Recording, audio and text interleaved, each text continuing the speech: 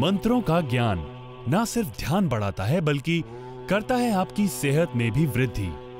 मंत्र कैसे करते हैं आपकी सेहत पर मैजिक आइए जानते हैं।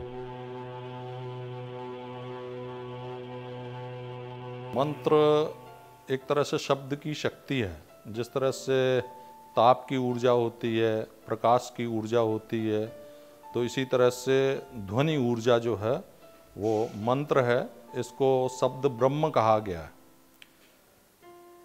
ऊर्जा को, शब्दों की ऊर्जा को ब्रह्म कहा गया है और इसका प्रयोग वैदिक काल में काफ़ी समय तक होता रहा है। इसको शाप के रूप में भी देख सकते हैं आप, वरदान के रूप में भी देख सकते हैं। इसी शक्ति का प्रयोग जो है वो किया गया। दूसरा, आज के परिप्रेक्ष्य में यदि वैज्ञानिक आज का जो वैज्ञानिक युग है इस संदर्भ में हम बात करें तो जो भी आजकल चिकित्सा जगत में अल्ट्रासाउंड, इंफ्रासोनिक, जो भी ये चिकित्सा चल रही है, वो शब्द का ही एक तरह से प्रयोग है, मंत्र का ही एक तरह से प्रयोग है। जैसा सब जानते हैं विज्ञान की भाषा में कि 20 कंपन प्रति सेकंड से लेके बीस हज़ार कंपन प्रति सेकंड तक जो है हमारे कान सुन सकते हैं। लेकिन उससे ऊपर की यदि ध्वनि है फ्रीक्वेंसी की, या 20 से कम की ध्वनि है, वो हमारे कान नहीं पकड़ सकते। लेकिन वही ध्वनि बड़ी महत्वपूर्ण होती हैं, जिनको आप अल्ट्रासाउंड के रूप में जानते हैं। वो ध्वनि जो है बड़े बड़े रोगों को चिकित्सा जगत में आज चमत्कार पैदा कर रही है। तो वास्तव में ये एक तरह का आधुनिक मंत्र विज्ञान है। केवल फ़र्क इतना है कि उस समय का जो वैदिक काल का जो समय था, उसमें मशीनें और उपकरण नहीं होते थे।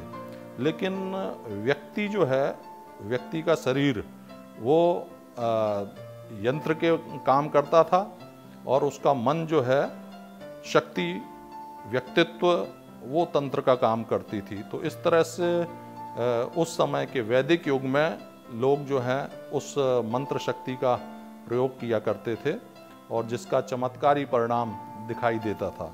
वास्तव में ये विज्ञान हमारा बहुत ही महत्वपूर्ण विज्ञान है, लेकिन इसमें एक शर्त है कि जो मंत्र शक्ति है, वो केवल वाणी की शक्ति नहीं होती, बल्कि उसके साथ में व्यक्तित्व जुड़ा होता है। उसका आत्म परिष्कार की साधना उसने कितनी की है, उसने अपना कितना तपाया है तब जाके ये मंत्र शक्ति जो है, वो व्यक्ति की काम करती है। ये बड़े खेद की बात है कि आज के समय में ऐसे व्यक्तित्व आपको बड़े बिरले दिखाई देते हैं या जो व्यक्ति इस तरह का दावा करता है, वास्तव में वो एक तरह का रूपक रचता है, यथार्थ कहीं उसमें नहीं होता। इस कारण से जो आज का भौतिक विज्ञान है, वो कहीं ना कहीं हमारे मंत्र विज्ञान को नकारने लगता है। लेकिन यदि ये सारी कसौटियाँ उतार ली जाएँ। जैसे कि अपने व्यक्तित्व का परिष्कार कर लिया जाए, सही मंत्र का जो है प्रयोग किया जाए, उसकी, क्योंकि मंत्र जो है, मंत्र में देवता होते हैं, मंत्र एक तरह का छंद है, जिसमें विशेष क्रम में शब्दों को जमाया जाता है और उससे विशेष प्रकार की ध्वनि निकलती हैं। मंत्रों के अर्थ भले ही नहीं समझ में आते हो आपको कि मंत्र का अर्थ क्या है। इसीलिए इनको अनर्थक बोलते हैं, मंत्रों को, जिनके अर्थ समझ नहीं सकते, लेकिन इनकी ध्वनि, इनके उच्चारण जो होते हैं, वो एक तरह से अल्ट्रासोनिक और अल्ट्रासाउंड, जो आत्मिक विज्ञान है, वे ध्वनि तरंगें व्यक्ति को सीधे प्रभावित करती हैं और उसके अंदर के विभिन्न प्रकार के रोग हैं, उनको दूर कर सकते हैं। ज़रूरी नहीं है कि जो मंत्र आपकी जिह्वा द्वारा बोले जा रहे हैं, बल्कि जो आपकी भावनाएँ हैं जो आपकी विचारणाएँ हैं, वो उससे ज़्यादा शक्तिशाली होती हैं। भले ही आपकी जिह्वा से चीज़ प्रकट नहीं हो रही है, लेकिन भावनाएँ, विचारणाएँ जो हैं, जैसे उदाहरण के लिए मैं बता दूँ कि ध्वनि जो है इसका एक हज़ार अठासी फीट प्रति सेकंड की गति से ध्वनि चलती है। लेकिन जब ये ध्वनि इलेक्ट्रोमैग्नेटिक फोर्स जो रहती है, रेडियो तरंगे रहती हैं उनके साथ जब ये इनको ज्वाइंट कर देते हैं तो इनकी गति एक लाख छियालीस हज़ार किलोमीटर प्रति सेकंड हो जाती है।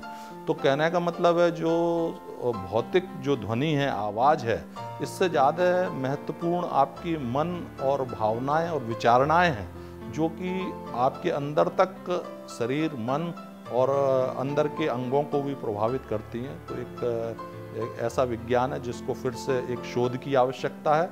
और व्यक्ति यदि अपने जीवन को परिष्कृत करे तो ये मंत्र शक्ति फिर से प्रभावशाली हो सकती है।